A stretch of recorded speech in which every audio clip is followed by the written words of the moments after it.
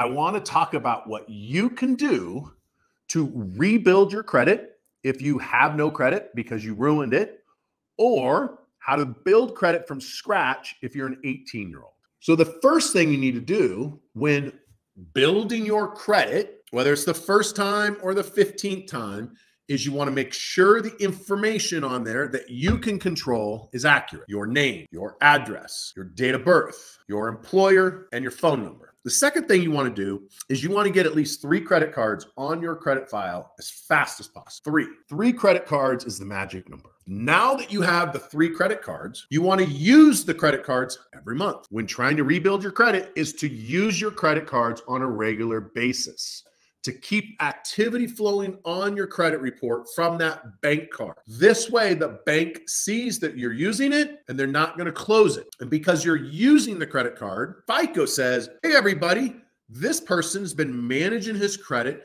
successfully for the last couple of years, every month using this credit card, keeping his balance low, paying it off in full every month we believe this person is less likely to miss a payment over the next two years.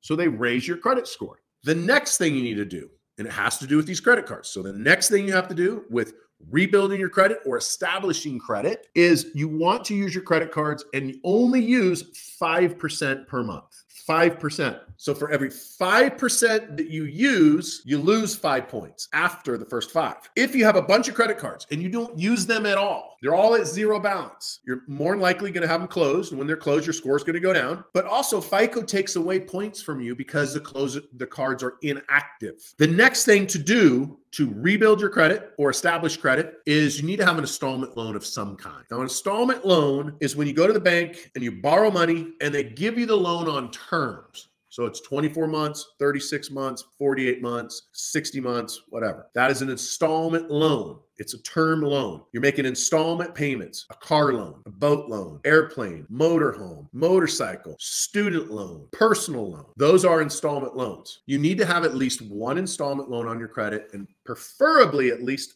four years for the installment, 48 month term, preferably. So if you do those five things, you will have great credit. And if you have great credit, you can obtain money much cheaper. And if you can get money cheaper, you're going to have a better life.